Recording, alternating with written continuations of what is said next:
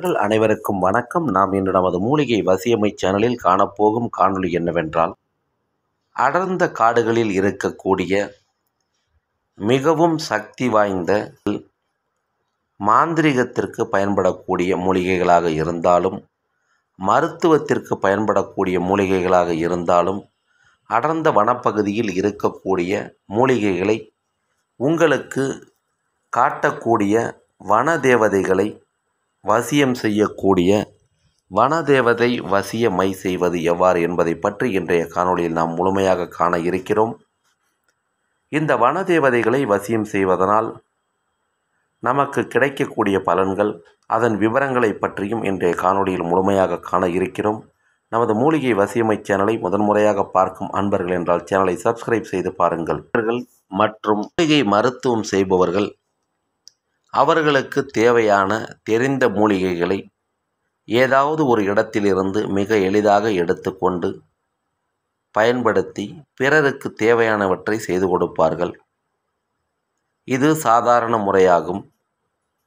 இதே போன்று மாந்திரீக மற்றும் மருத்துவ செய்கைகளுக்காக அதிசக்தி வாய்ந்த ரகசிய மூலிகைகள் தேவைப்படுவோர். நமது காணொலியில் வரக்கூடிய இந்த முறை தேவதையின் உதவியுடன் வனத்தில் இருக்கக்கூடிய அதிசக்தி வாய்ந்த அற்புத மூலிகை பொருட்களை மூலிகைகளை எடுத்து மாந்திரிகத்திற்காகவும் மருத்துவத்திற்காகவும் பயன்படுத்துவார்கள். அவ்வாறு உங்களுக்கு நேரில் வந்து பிரசன்னமாகி உதவக்கூடிய வனதேவதைகளை வசியம் செய்யக்கூடிய மை செய்வது எவ்வாறு என்று இப்பொழுது நாம் பார்க்க இருக்கிறோம். வனதேவதை வசியம் செய்யக்கூடிய மை தயார் செய்வதற்கு தேத்தான் கொட்டை கௌதும்பை குப்பைமேனி இவைகளை பன்னீருடன் சேர்த்து நன்றாக அரைக்க வேண்டும். அரைத்து முடித்த பிறகு சுத்தமான வெள்ளை துணியில் இவற்றை தடவி திரித்து காய வைத்து கொள்ள வேண்டும். நன்றாக காய்ந்த பிறகு சுத்தமான கருப்பு நிறத்தில் இருக்கக்கூடிய நாட்டு பசு அதாவது காராம்பசு என்று அழைப்பார்கள். அந்த காராம்பசுவினுடைய நெய்யை நீங்களே தயார் செய்து முறைப்படி காராம்பசுவினுடைய பாலை வாங்கி உரை ஊற்றி நெய்யாக தயார் செய்து இந்த காராம்பசுவின் நெய்யினில் நாம் ஏற்கனவே தயார் செய்து வைத்திருக்கக்கூடிய திரியினை போட்டு அகல் விளக்கில் தீபமாக ஏற்ற வேண்டும்.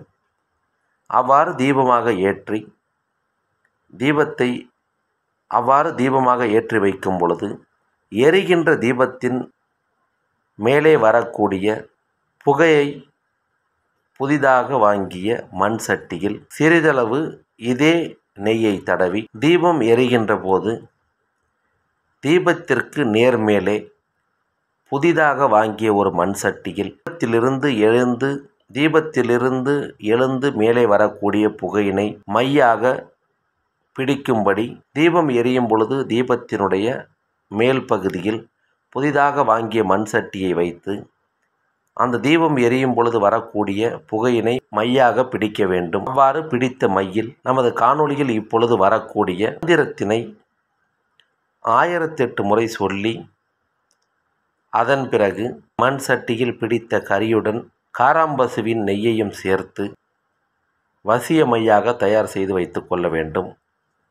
இந்த வசிய மையினை பிரயோகம் செய்வது சுத்தமான வெற்றிலையில் காலை வேளையில் வனத்திற்குள் சென்ற பிறகு முதலில் உங்கள் குலதெய்வத்தை வணங்கிவிட்டு திருக்கக்கூடிய வனதேவதை வசியம் செய்யக்கூடிய இந்த மையினை சுத்தமான வெற்றிலையில் கிழக்கு முகமாக நின்று கொண்டு சிறிதளவு ஆள்காட்டி விரல் நுனியில் எடுத்து வெற்றிலையில் வட்டமாக தடவும் பொழுது உங்களுக்கு அந்த வனத்தில் இருக்கக்கூடிய வனதேவதையானது வசியமாகி நீங்கள் எடுக்க வேண்டிய மூலிகையின் பெயரை கூறும் பொழுது அந்த மூலிகையானது வனத்தின் எந்த பகுதியில் எந்த மூலையில் இருக்கிறது எந்த மாதிரியான அமைப்பில் அந்த மூலிகை இருக்கிறது என்பதை உங்களுக்கு தெளிவாக காட்டும். இதை ஒரு நாளைக்கு ஒரு முறை மட்டுமே பிரயோகம் செய்ய வேண்டும்.